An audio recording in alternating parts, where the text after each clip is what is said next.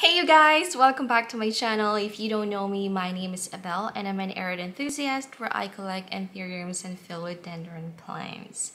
In this video, I'm going to be sharing with you my alocasia plants since you guys are still asking how I take care of it. And also, if you haven't seen or watched the video that I made from the past, you can always check it on my videos. And I made a recent video um, if I'm not mistaken, that was Monday, which is yesterday.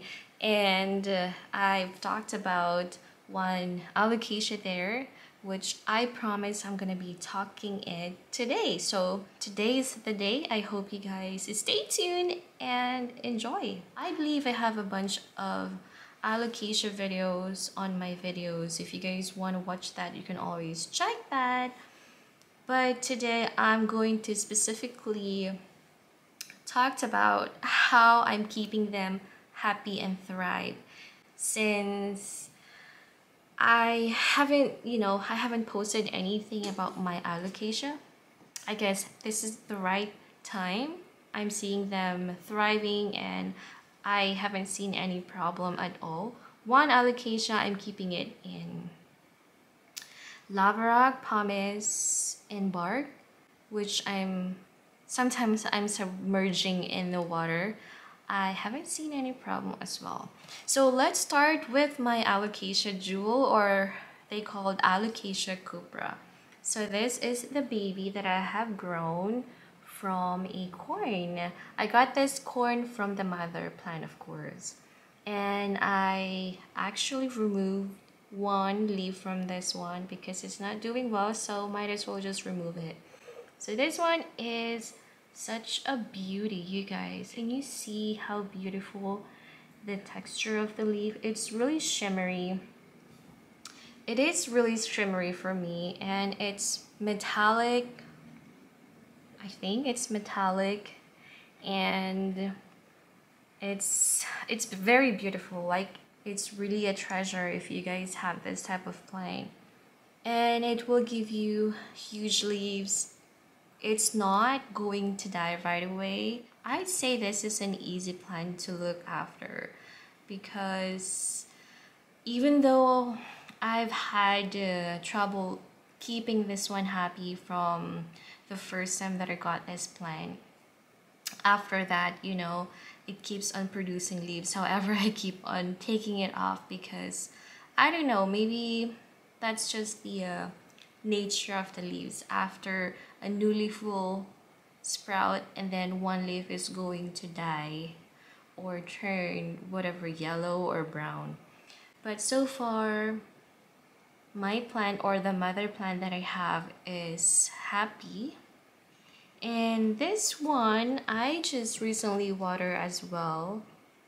I'm keeping this one in my coco coir you guys are seeing that. Coco coir perlite and I put uh, or I include my favorite slow release fertilizer which I'm to be showing you this.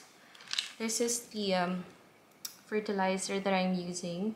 I, I thought I won't be able to get this one because it's always out of stock on Amazon but then I got a you know I got a um, chance to see this one and then I got it. I believe they're only... Hey Google, stop. This is not the usual size that I'm always getting on Amazon. I don't know, it's hard to get that size anymore. But this one comes in one pound and it comes with 11 essential nutrients and it says here specifically no burn pledge which is pretty good it's good for outdoor or indoor there is another one which is specifically for vegetable but i haven't tried that and i'm not sure if it's good for indoor and outdoor as well maybe but uh, I haven't tried it. If you guys are looking for a slow release fertilizer, this one, the brand Osmocote Plus, is really good. Really, really good. So that's what I'm using to most of my plants aside from the uh, Gringo Rasta. So like I said, this is my Alocasia cuprea or they called alocasia jewel. So the next one I'm gonna be showing with you is my mother plant. So this is the mother plant, you guys. I've lost a lot of leaves for this plant, but then I'm still happy because it keeps producing leaves every now and then. This plant gave me flowers, two flowers in the past, but then I forgot to get the uh, pollens. However, I don't know exactly how to pollinate alocasia, so we will see in the future because I kept one alocasia pollens and it's in the fridge and that's from my alocasia cuprea so I'm crossing my fingers. The reason why the stems are getting longer or taller mainly because I'm placing it under my grow light and that's all what I'm doing for this plant. I actually put a lot of uh, coco coir in it because the more they grow, the more they need some I'd say some soil or whatever media. But that's what I noticed for this plant. I keep changing it after I got it from Ecuagenera, like you said, I place it in a pure perlite. Place it in my transparent box because humidity is the key for this one as well. You know, this plant likes that transparent box that I did from before. And then when we moved here in the um, new place, and that's where it keeps on thriving because I guess it adapts in the new environment here now. So, so far I haven't uh, had any problem with this one. I've never seen any spider mites or any insects which I'm knocking on the wood because you know alocasia they said which in my experience I had spider mites when I looked after the uh, pink alocasia but that's not a rare alocasia though it's um, I forgot what it's called, but that's a long time ago. And that's what I noticed. I had um, I had the spider mites there. But these alocasias that I'm looking after, I've never seen any problem. So this one, I'm keeping it with lots of coco coir, lots of perlites as well, and also, of course, my fertilizer because it really helps to build that strong stems and huge leaves. So yeah. So far I have five leaves in here and these are the leaves. You guys are seeing it's pretty huge and very healthy. I don't have any problem. I don't have any worries for this one so I'm very happy. And like I said I got this corm which is a new plant now and this mother plant. Whatever you want to do in your alocasia plants just for example if you want to put a lot of soil or you want to change it or you want to repot it check a corm. They are hiding in the middle or beside the soil or they're sticking on the, the roots. They're hiding in there somewhere. You can always propagate that. My bad i've forgotten to propagate my alocasia corm in a fast way method. I'm using the water propagation which it takes a long time so I hope I'll be able to you know propagate my plants soon and then we'll show you how it goes. So so far this is my alocasia cuprea.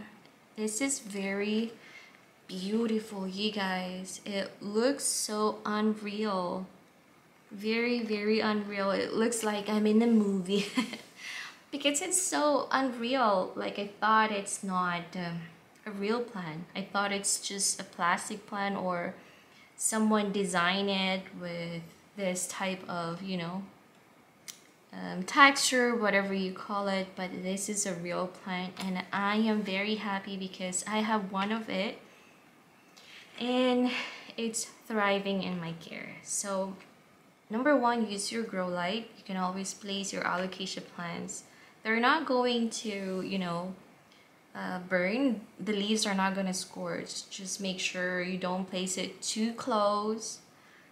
Uh, just enough. you know the length and uh, place you can place slow release fertilizer which I am doing but you know don't overdo it and I'm not really watering it often because it's a coco coir it holds a lot of water in it so yeah that's my Alocasia cuprea. So the next plant that I wanted to share with you is my Alocasia baginda. You guys, this plant is so beautiful. I've seen Alocasia baginda or Alocasia dragon scale on my Instagram and they're not dark so I don't know what type of you know hybrid is that but of course it's alocasia but I don't know exactly what the um, hybrid which I wanted to get one as well but so far this is my alocasia cuprea. If you are seeing where is that one? I think this is the one. You're seeing this light green in the middle that means it's still um, not juvenile but it's not matured yet compared to these ones. These ones are dark green and they are old now like old leaves. And so far I don't have any problems with this one as well. I've had flowers for this. I've gotten flowers for this one as well you guys. I was able to collect the pollen so I'm very happy so we will see what's gonna happen if I have a new flower for my Alocasia cuprea. I'm hoping that I'll be able to propagate them or pollinate them rather. And so my battery died so forgive me. Anyhow I am talking about my Alocasia propaganda, you guys. As I mentioned if you guys are seeing the streaks like this that is light green that means that the plant is not matured yet or I mean the leaf is not matured yet compared to the dark form which is it looks like this. And it's happy. I'm keeping it in my coco coir I believe. I put some moss and I haven't removed it since I repot this one. I have a moss in the middle and then of course my perlite, my coco coir. And I put a lot of um, um, fertilizer as well and some rocks, lava rocks and uh, pumice I should say. So that's what I'm keeping to make this plant happy and so far I'm not seeing any problem, not getting any problem with it. So that's my plant, which uh, I had two flowers as well. And I'm really hoping that I'll be able to get another flower soon. So I'll be able to pollinate them, my cuprea and my my baginda. So the last plant that I wanted to talk about is this one over here, which I've mentioned this one from my last video. You guys, this plant over here is very fragile like I've talked about from my video the last video that I made, I should say, you cannot believe how tiny this is and I don't know exactly how to look after for this plant but then I managed to save it. And also I've got one corm from that which I am propagating it in the water. If you guys are seeing that that's the new hopefully oh my look at my nail. Sorry for that. So that's a new growth that is hopefully sprouting soon. And I'm submerging it in the water, keeping it in a closed container like this. However, there is a fast way, but I'm gonna be doing that in hopefully if I repotted one of these plants again and I'll be sharing you or showing you how the fastest way. Or if you guys are looking for alocasia plants or how to um, keep the corm happy you can always check you can always check different videos about that. So my battery is dying again so this one I'm gonna do it fast. This one is my Alocasia Jacklyn you guys. I finally remembered the name. So the old leaf was gone. It's not here anymore but I'm keeping it in the lava rock and Pumice and also I've got bark on top. I'm submerging it in the water and it's not it's you know it's not uh, giving me a problem. All of these alocasias that I have, I'm placing under my grow light. So don't worry about if you are keeping your plants in the water itself because it will thrive. However, if there's no light, I'm not really sure if it's going to thrive if you don't give it uh, at least a bit of a sunlight or a bit of a grow light here and there or place it in a bright area.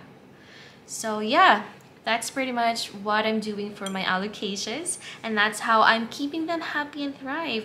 And hopefully this guy over here, I'll be able to repot it in a different uh, substrate because I don't, you know, I loved it, but then I don't really like how it grows um, slower compared to the two that I have. So you guys, that's pretty much my alocasia plans and how I keep them happy and thrive. I'm gonna end the video in here because the battery is dying soon. So hopefully follow me on my Instagram. My Instagram is here, Abel's Plant. And also if you haven't subscribed yet, please do so. I'll really appreciate it. And until then, I'll see you on my next video.